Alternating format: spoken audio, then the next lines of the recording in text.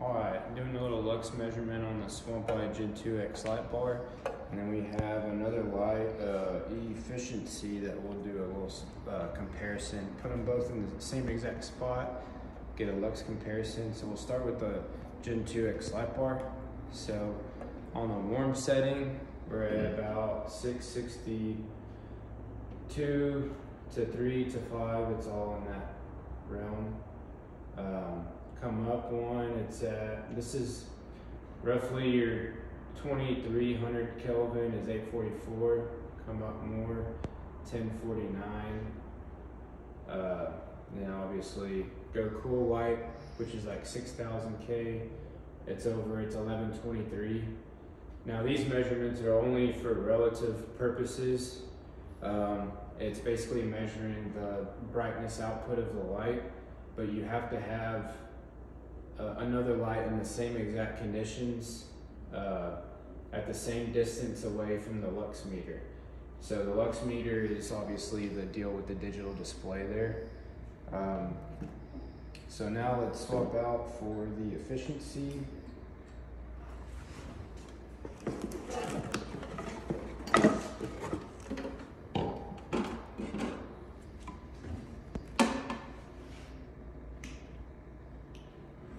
And this one is uh, kind of low. It's so we were what six?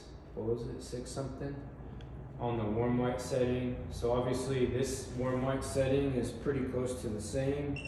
We have a digital power supply here, so we're making sure that we have good voltage. Um, you know, we adjust the voltage to make sure we use the power supply that comes with the light bar for running off AC, but we'll run this to 24 volts and uh, so 26 volts is like a fully charged battery. So, you know, we're at 3 394, 395. 405 was like the highest, 396, 5. So I'm, this thing is kind of low. I have to rotate it up some. Um, so yeah, I mean, it's right around, right at 400 it looks like. So then we'll come up, and this is at max brightness over here on his little three-step deal. Um, and then you can see 25.9. The actual voltage is 26, so it's off just a little bit. His reading versus what the actual voltage on our digital power supply is. Um, then we go to the blended color. This is like your 3000, 4000 range. Um, you know, 434, we were at, what were we at, eight or nine something? Eight, I think, eight fifty-four. Yeah.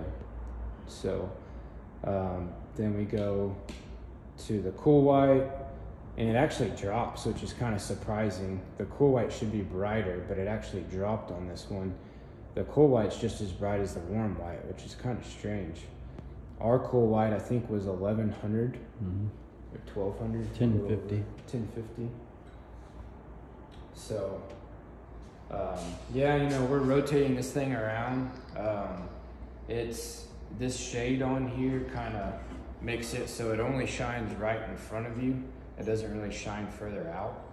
Um, so it really, you know, you could probably see, you know, I mean, look at how it shades. It's probably what, like 10 feet out, I would say, that it's going to really put light to. Uh, but anyways, so there we go. Well, just to show you that, you know, this is a continuous video. We're not editing it or anything. Um, so the light bar again, same exact spot. Turning it on using the power supply it comes with, which runs at the same voltage that we set this to for his. Uh, the E-Fish-N-See light, his doesn't come with like a power supply or anything. So just so that we make sure that a dead battery doesn't affect it, we set it to this power supply rating. So it gives it a constant equivalent to a 24 volt fully charged battery. We actually adjusted the voltage uh, from 12 to 36 and it didn't really make a whole lot of difference. The luminosity stayed relatively the same. Um, but again, you know, 643, we we're at 400 on the warm light setting for the E-Fish-N-See, and we're at 643 on the Swamp Eye Light Bar Gen 2X. we come up a notch and we're at 7 788 89 790 so we're right in that realm. Uh, that's about twice the brightness of what the E-Fish-N-See was.